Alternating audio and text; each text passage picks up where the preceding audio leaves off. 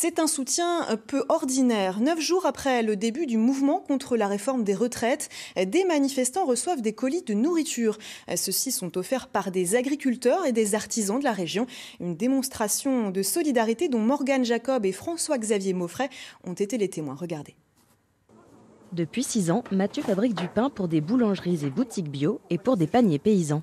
Ce matin, de nouveaux consommateurs s'ajoutent à cette liste, les grévistes. On fait ce qui tient dans le four en fait. En fonction de la place qui nous reste, c'est pas beaucoup plus de travail pour nous. Et par contre, pour le mouvement, je pense que c'est important. Comme hier, Mathieu donne 20 kilos de pain.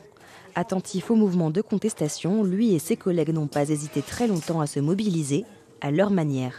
Ça n'a pas vraiment de sens de faire grève dans le monde paysan. Par contre, on peut, on peut et on, souhaite, euh, on souhaitait soutenir le mouvement.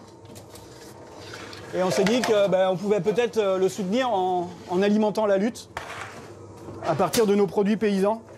En plus du pain, des œufs, du miel et de la bière doivent aussi être collectés dans cette ferme. En tout, une dizaine d'agriculteurs a contribué, comme Luc. Là, on a des légumes de la petite fève de chez Clara à Fondette. Après avoir fait le tour des fermes, c'est l'heure de livrer les provisions et une bonne dose de soutien à la cause.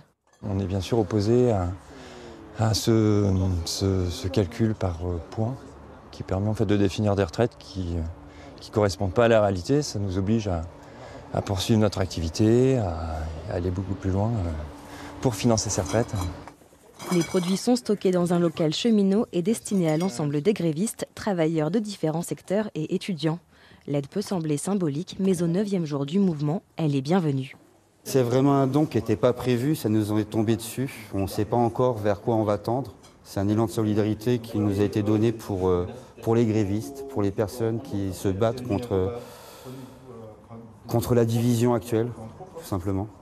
Cette démarche, initiée par quelques producteurs, est désormais soutenue par la Confédération paysanne de Touraine. Elle devrait se poursuivre et s'amplifier dans les prochains jours, une manière d'inscrire jusque dans les assiettes des grévistes la fameuse convergence des luttes. Thank you.